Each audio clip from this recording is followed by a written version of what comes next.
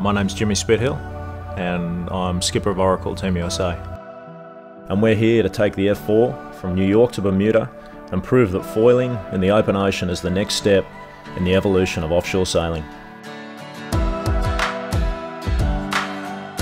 Unfortunately, we're in a hold. We can't go. It just would be unsafe. So we're going to go today. We're going to continue training, continue learning, pushing the boat.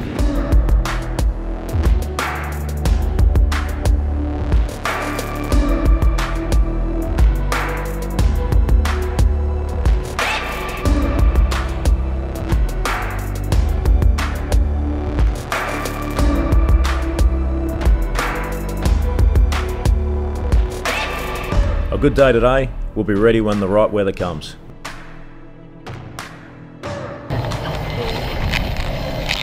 Okay, so here we are. The weather window's opened up and we're all go, hopefully, to leave New York first thing in the morning.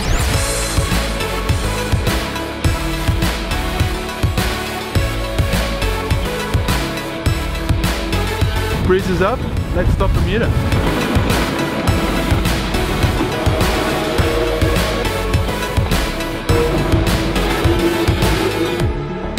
We had great conditions out of Manhattan, foiled out of Manhattan, pretty much foiled to the Gulf Stream.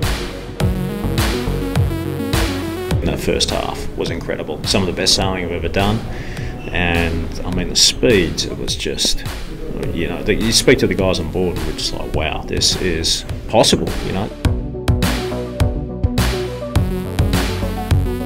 Upon clearing the Gulf Stream, the sea state and the ocean started to escalate.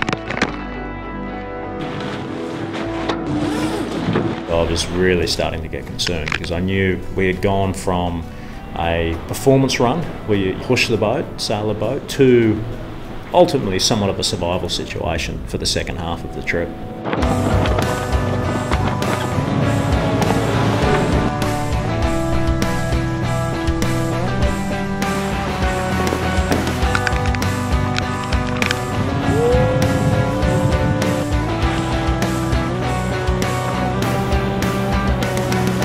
There's no doubt in my mind, offshore foiling is the next step in terms of performance offshore. I mean, that we clearly proved that, but there's a limit. No matter what, Mother Nature will decide at what level you are going to operate. And Mother Nature made that decision for us.